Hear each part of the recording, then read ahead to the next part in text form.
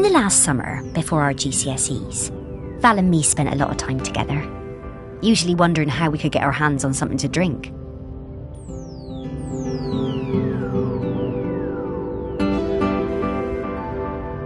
No one on this stupid little island would serve us, though. One day, we were hanging around on the allotments near the quay when we spotted something. So, later that night, we went into the woods behind Val's house to drink it, sitting on top of that ancient stone that they say protects the island. But there was no way we were going to get through it all so we decided to bury the rest.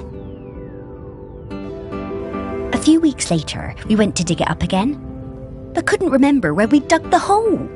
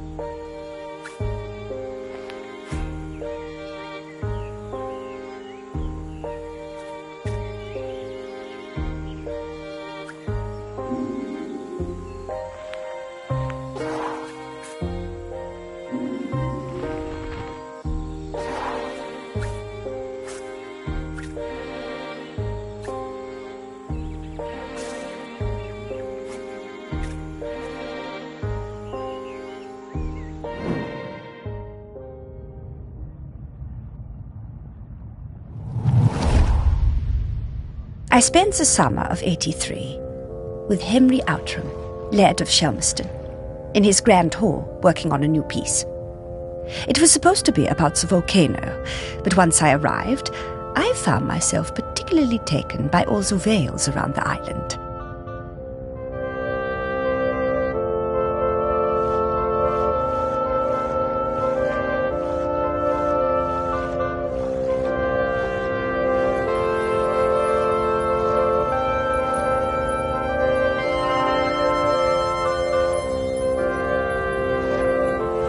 Henry was a delightful host, always excited to have us bright young artists around, and always ready with a charming question or a fortifying glass of something.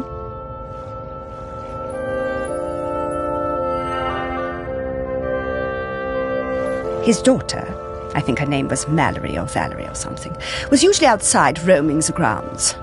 Henry said she was discovering herself and learning self reliance through independent play. She seemed feral to me.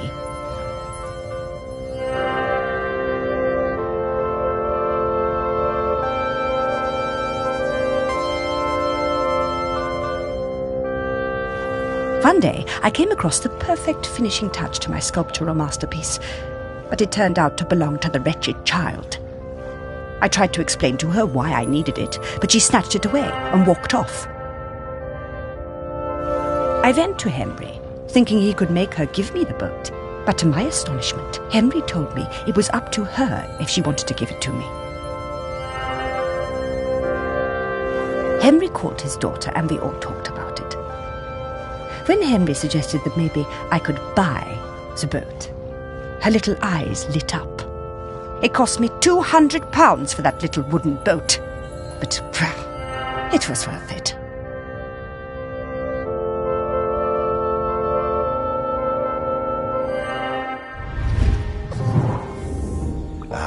Henry was a good dad at heart, caring about Val's feelings, and, and treating her like a grown up even when she was little. Partly how she became so independent, I reckon. I know it was tough on him, but they both turned out pretty well.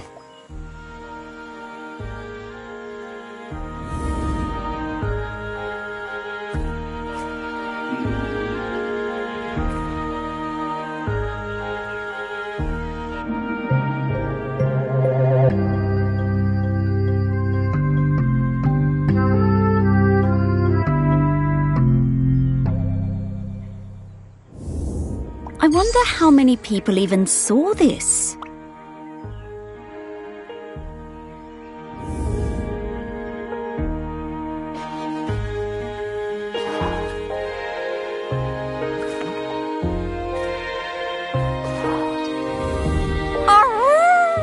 We did it! Oh, yes! I know what Val smells like now. Her signal is wafting through to me very clearly. Time to fly.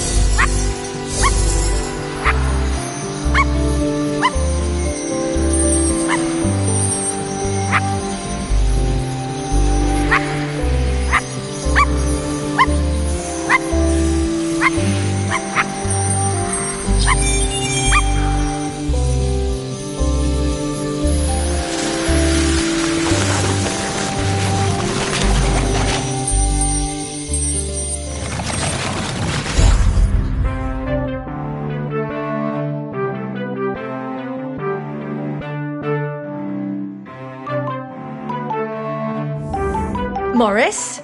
Morris Lupton? Is that really you? And Sparky? Val!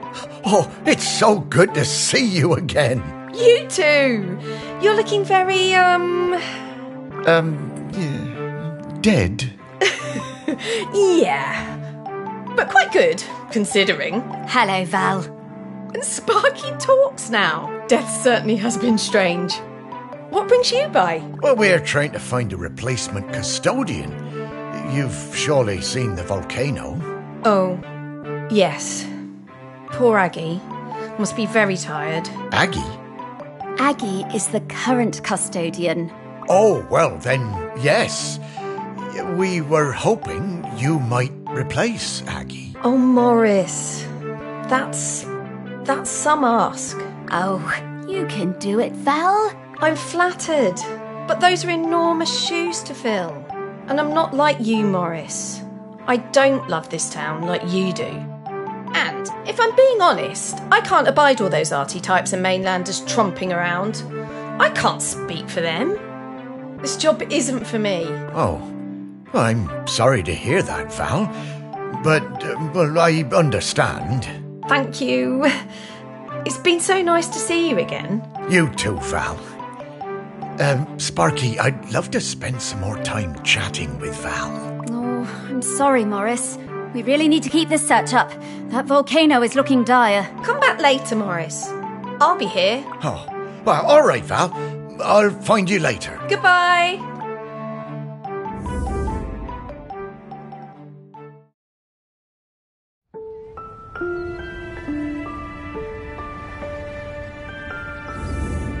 Slow down, Sparky. I need to get some things straight. No time, Morris. We need to find the next prospect. Well, it's just that I don't quite understand what we're doing. We're looking for the custodian. Well, I get that bit, Sparky, but what does the custodian have to do exactly? Oh, well, um, it's hard to explain with your human words, but, uh, the custodian kind of mingles with the island, becomes a part of it. A part of the rock, uh, the volcano. Yes, the rock, and the sea, and the animals and plants. The custodian becomes a part of all of these things. It becomes part of the island spirit. And you give up being a ghost. Yeah, well, a walking around talking kind of ghost. Stop being someone who can go into the West. Hmm, it's quite a sacrifice. Oh, wow. Well, no wonder Val doesn't want to fill those shoes. Aggie must be a legend. Well, she really is. I always thought there were those folks destined to be mayors and, I suppose, custodians. And then there are people like me and Val, destined for smaller lives. What? Small? Morris, your heart is as big as the island. Everyone knows that. Yeah, I suppose I'm more like one of those island oddities in the museum. Yeah, and they were always the visitors' favourites. Now, we need to move on. Next up is Ogden Beckett, in the Old Town. Ogden it is. I'm right behind you, Sparky.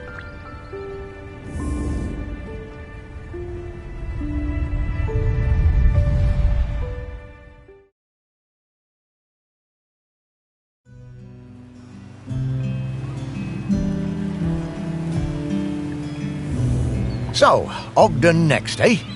I'll be glad to see him again. His music always hurt my ears, but he was good at chin scratches. Oh, lovely guy. Oh, look, the ferry's coming in. There'll be loads of tourists all over this quayside soon. I suppose they won't get in our way much anymore, eh, girl?